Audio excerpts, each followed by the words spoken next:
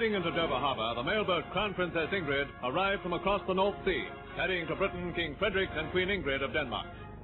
Representing the King, the Duke of Edinburgh went aboard to welcome the royal visitors.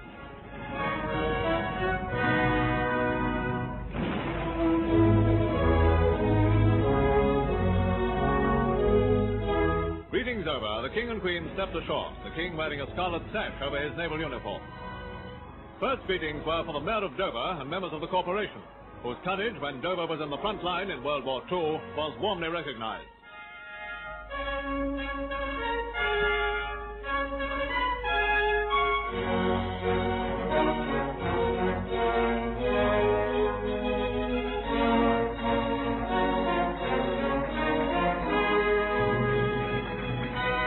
Waiting to take the King and Queen to London was an engine of the famous Merchant Navy class, a streamlined tribute to the head of an ancient seafaring nation.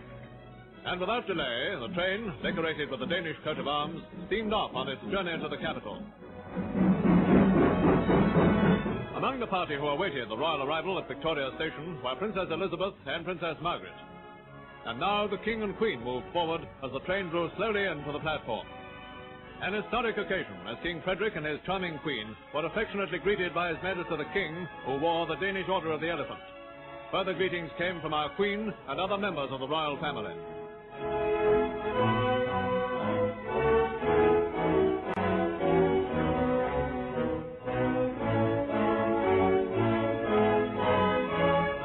Their Majesties also welcomed the Duke of Edinburgh, who had escorted their guests safely to London. Then members of the cabinet, including the Prime Minister and the Foreign Secretary, were presented to King Frederick and Queen Ingrid. Next came the heads of the armed services, Lord Fraser for the Navy and Sir William Slim for the Army.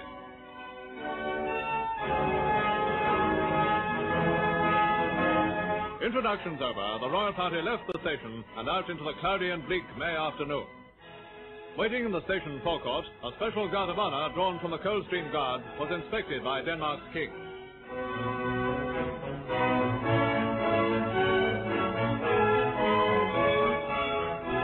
Open landau, the kings of two democratic nations were seated side by side. Opposite were the Duke of Gloucester and the Duke of Edinburgh, while following in the second carriage, Queen Ingrid, our own Queen, and the two princesses.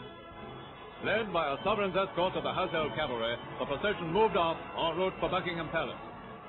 Round from Victoria Street into Parliament Square, while the bells of Westminster rang out their own special greeting to the visitors from across the North Sea.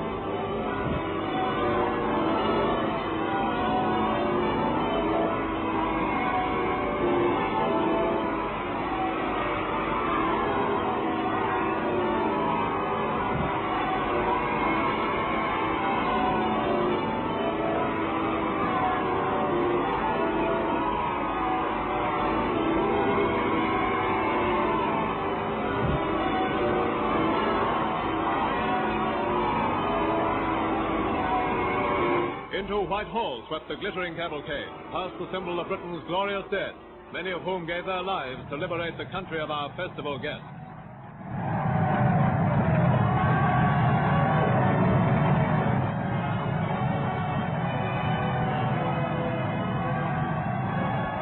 Now the procession moved towards our cameras on the final stage of the journey, up the stately mare.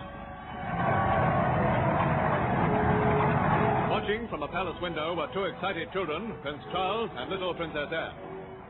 The splendid sight of the household cavalry must have brought a surge of admiration from the many visitors now in festive London.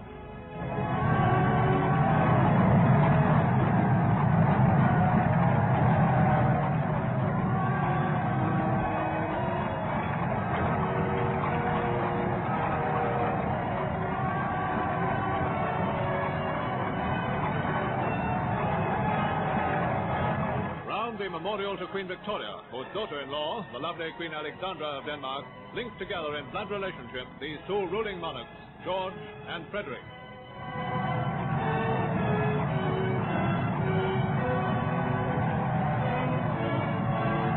And so their majesties brought home their guests for a crowded four days of state occasion.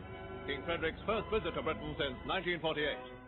For four days only, Britain and her royal family will play host to the heads of one of her most generous neighbors.